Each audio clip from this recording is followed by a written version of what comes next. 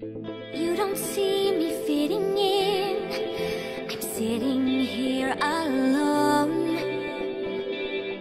right beside my shadow, always on